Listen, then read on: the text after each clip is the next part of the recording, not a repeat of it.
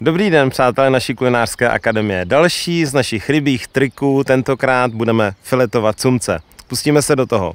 Sumec je ta největší ryba, kterou v našich řekách a rybnících můžeme chytit, nebo ji e, můžeme koupit.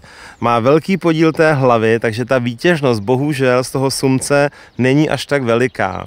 Co se týká gastronomie, tak používáme e, většinou sumce tak do toho jednoho metru. Ty větší ryby, ty už jsou potom hodně tučné a hodí se možná třeba na to uzení, ale do té gastronomie zase až tolik ne. Já tady mám před sebou vykuchanou rybu.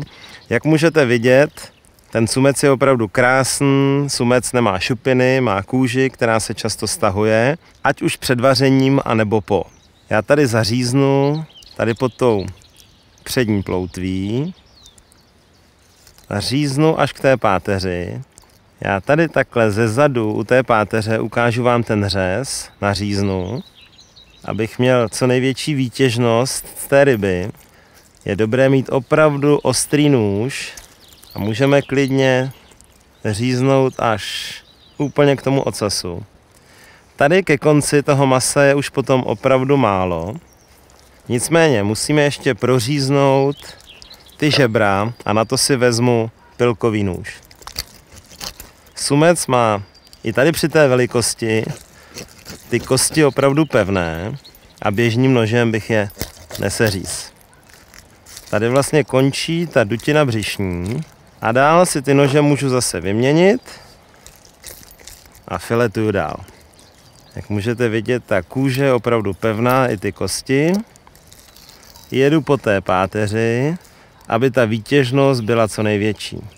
A tady můžete krásně vidět to tuhé maso, bílé. Tady při té velikosti je ten tuk hlavně pod tou kůží, jak už to u ryb bývá. Co se týká toho začištění, tak je potřeba ještě potom vyříznout ty žebra. To je u všech ryb hodně podobné.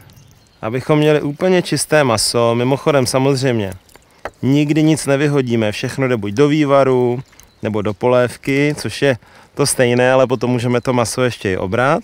Tady máme ty kůstky takhle uvnitř, ty se dají hezky vyříznout, ono jich není zase tolik. Tak se na to podívejte, trošku si to posunu. A poslední, tak ještě začistíme tady tu blánu. Snažíme se samozřejmě získat co nejvíc toho masa a mít co nejmenší odpad. Takhle máme krásný čistý filet sumce, kde nejsou vůbec žádné kosti.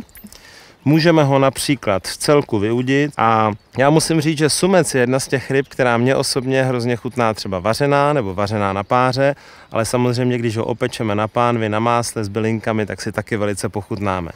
Co se týká té druhé půlky, tak postupujeme úplně stejně.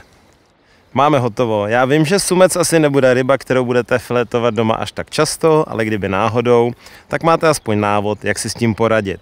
Samozřejmě, jak vidíte, jak jsem říkal na začátku, ta výtěžnost toho sumce je opravdu relativně malá, nicméně všechno, co tady máme, tak můžete použít na skvělý vývar, připravit si třeba maďarskou polévku halásle. Moc vám děkuji za pozornost a mějte se krásně. Chcete se naučit další kuchařské techniky? Sledujte kulinářskou akademii Lidlu. Každý týden přidáváme nové návody.